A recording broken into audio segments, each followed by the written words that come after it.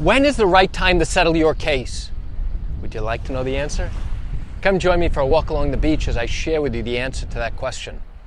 Hi, I'm Gerry Oginski, a New York medical malpractice and personal injury attorney. The answer is it depends.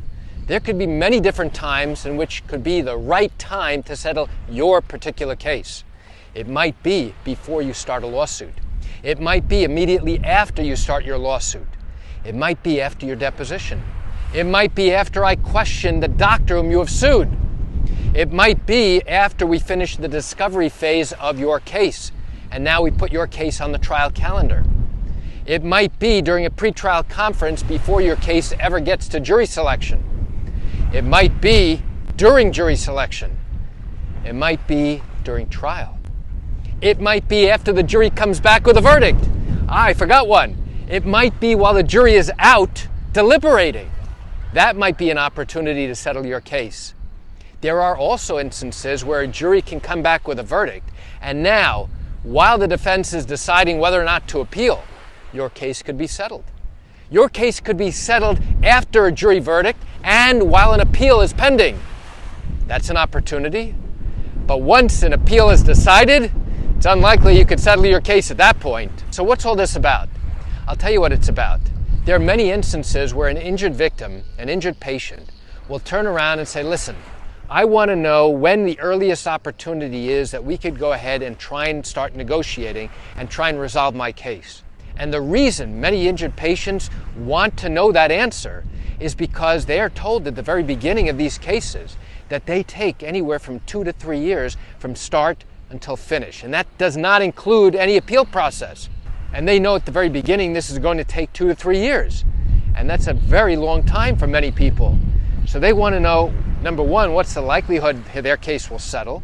And number two, when is the earliest opportunity that they could try and settle the case? The answer is it depends. It depends on many different factors.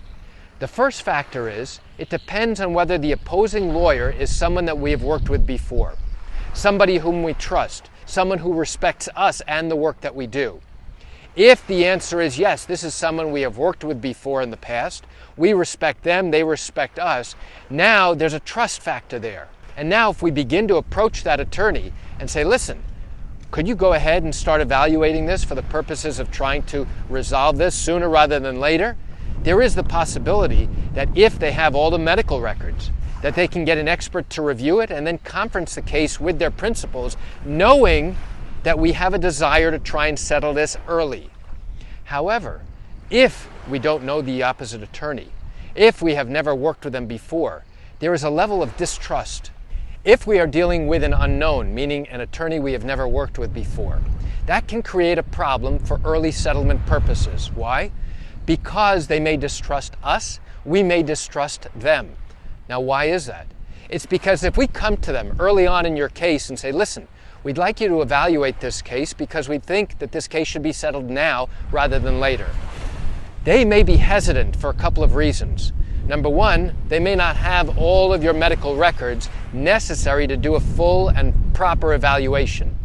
Number two, they may not be in a position to go ahead and get a medical expert at this early stage, knowing that we still have a lot of discovery to cover, knowing that your deposition is coming up, knowing that their doctor has not yet been prepped for deposition. So, in that instance, it's going to make early settlement discussions much more difficult compared to having a conversation with someone that we have worked with before, someone who we know is trustworthy, someone who trusts and respects us. Just because you begin settlement discussions does not necessarily mean you're going to be successful. It simply means that they're going to start negotiating, and now they're going to go ahead and evaluate your case with a view toward negotiating. So let's go back to the question I raised at the beginning of this video. When is the right time to settle your case? As I mentioned at the beginning, the answer is it depends. It depends whether you have a very strong case. It depends whether the facts are so obvious and the liability is so obvious that it becomes easy to understand exactly who is responsible. Now, here's another thing if you are still undergoing medical care and treatment for your injuries. Now, your settlement discussions become a bit more complicated because now we don't know what the true extent and permanency is for your injuries. It would be disadvantageous to you to go ahead and start negotiating while you are still under the care of your doctors, whether you need additional medical care, whether you may need additional surgery. Because if you do, then that will significantly increase the value of your case. And if you try and settle your case before you have completed all the necessary medical care and treatment, now you are shooting yourself in the foot. Why? Because of your implicit desire to try and resolve your case without the need to go through the entire litigation process.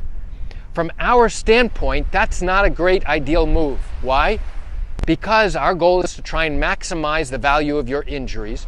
Because once you settle your case, you can't come back to the defense later and say, hey, you know what? I shouldn't have settled within six months after starting my case because I still have three more surgeries to go.